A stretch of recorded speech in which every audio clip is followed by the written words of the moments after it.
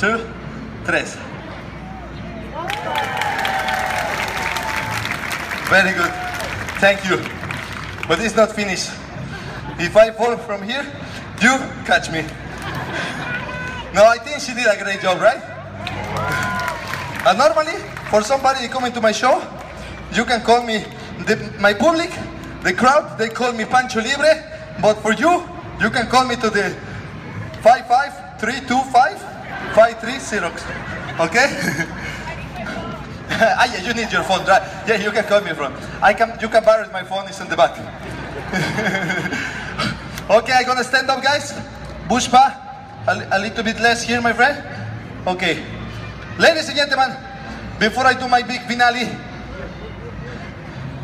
let me present myself. Better I sit down, eh? no, no, no. Ladies and gentlemen, m'appelle, my name is Pancho Libre. I come all the way from Mexico.